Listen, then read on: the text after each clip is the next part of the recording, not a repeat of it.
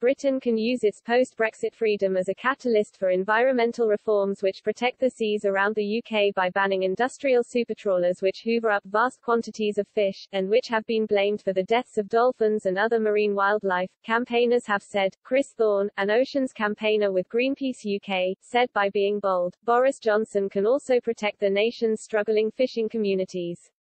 Mr. Thorne said up to now the UK had been shackled by the Common Fisheries Policy CFP. Mr. Thorne wrote in Conservative Home, Brexit is done, and the UK is now stepping out into the world on its own two feet. Brexit has divided opinions, no doubt, but the UK has left the European Union so we need to seize the opportunities presented to us to make Brexit a success. Perhaps the biggest opportunity presented to us by Brexit is the chance to become a true world leader in protecting our seas. For too long now, we have allowed the waters which surround our islands to be degraded by industrial fishing. The CFP had made it challenging for the UK to implement stronger restrictions on such practices, regardless of whether vessels hailed from the UK or the EU, Mr. Thorne explained. He added, super trawlers, vast floating fish factories, regularly stalk our seas, hoovering up unimaginably vast quantities of fish with nets up to a mile long.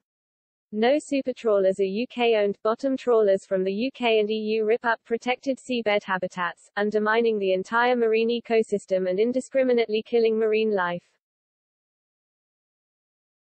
Bottom trawling also releases significant quantities of carbon that had been stored in seabed sediments, with a recent study in Nature finding that annually, emissions from bottom trawling are equivalent to emissions from the entire aviation industry. The UK has the fourth highest emissions from bottom trawling globally.